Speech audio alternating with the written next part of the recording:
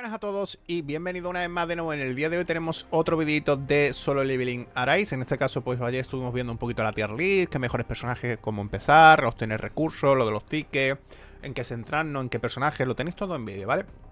Y en el día de hoy vamos a centrarnos un poquito en lo que sería el hecho de la llegada de, bueno, del juego, ¿no? De la versión global, que vamos a tener evidentemente, en este caso, pues la llegada inminente de lo que sería el juego en la versión global, porque lo tenemos en la versión canadiense, que como tal no es una beta, gente.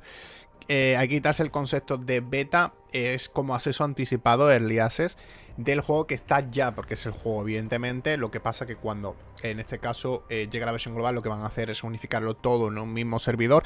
Pero, ¿qué va a pasar, Valiant? Bueno, aunque unifiquen las versiones en el mismo servidor, ¿qué va a pasar en este caso con, con mi cuenta, que estoy ahora mismo en Early o lo que sería la, no beta, pero es el juego final, evidentemente, de lo que es eh, Solo Living Arise. Me va, voy a perder los datos, voy a perder la... No, no se va a perder nada. Simplemente lo que van a hacer es unificar versiones, tanto global eh, como la de Canadá, todo el mismo servidor, donde vamos a poder interactuar entre uno y otro. ¿Qué quiere decir esto? Que evidentemente los que estamos ahora mismo jugando a esta versión, vamos a tener, evidentemente un progreso adelantado a los que empecéis eh, o los que vayan a empezar, evidentemente, en la versión global.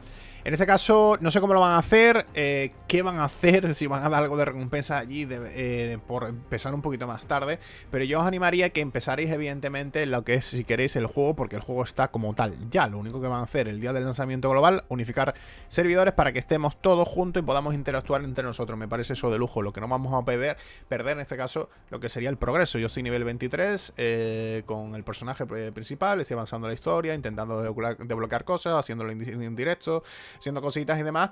Y si queréis más contenido de esto, me lo podéis decir, porque evidentemente estamos subiendo contenido de Dokkan Battle, subiendo contenido de Solo Leveling Rise y subiendo el contenido de Black Clover. Si queréis, evidentemente, yo sigo trayendo contenido. Y lo que deciros también, cómo hacer el tema de reroll, ya lo estuve explicando. Eh, lo tenéis en vídeo de ayer, eh, aproximadamente 20-25 minutos, cuando empezáis el tutorial. Y una vez habéis hecho eso, desde móvil sí que va a ser más sencillo para hacer el tema de reroll, modo invitado. Pero que no, que no es que hacer, que queréis esperaros la versión global. Perfecto, de todas formas, a la hora de, borrar la cuenta, ya lo estuve explicando ayer.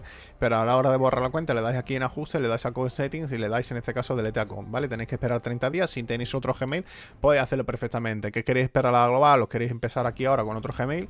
Perfecto, lo tenéis todo explicado, ¿vale? Aparte estuvimos también hablando un poquito de la tier list de personaje. En este caso, si vamos a Codex, por aquí, estuvimos hablando un poquito de los cazadores, en este caso a tener en cuenta los más importantes, los que con el cual empezar, ¿no? Los SSR que yo en este caso me salió a mí Baek, que es uno de los eh, poquitos que hay de luz y tanque, que es bastante bueno, con el tema del Break, para romper el escudo a los enemigos en los eventos. También Link, que lo tenéis por aquí, el arquero, bastante bueno. Choi, que ahora vamos a hablar un poquito de eso también. Emma, bastante decente. Seo también. Por aquí el eh, Wang, eh, y demás. Y este, eh, Min también y WoW, ¿no? En el cual, pues, es este que nos lo dan gratuito. ¿Qué va a pasar con el tema del banner también? Claro, que esto cuando salga la versión global, ¿qué va a pasar? No sé cómo lo van a hacer, si esta, esta unidad se va a ir al banner permanente, porque tenemos el banner permanente, que lo tenemos por aquí, y luego el banner, en este caso, de Choi, que sería lo más idóneo que lo saquéis, evidentemente, al banner, a este, este, esta unidad, porque me parece increíble, ¿no? ¿Qué va a pasar? Realmente no lo sé, no sé si va a venir nueva unidad, si esto lo van a tener así en la global, si van a tener ventajas, si van a dar cosas de recompensa, porque claro, van a ir con un mes, casi dos meses de, retraso, evidentemente. No sé cómo lo van a hacer, pero bueno.